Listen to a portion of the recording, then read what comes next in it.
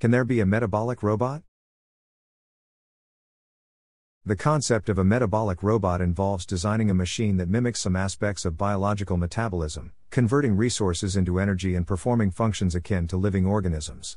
While it's a fascinating idea, creating a fully functional metabolic robot with the complexity and efficiency of biological systems remains a significant challenge.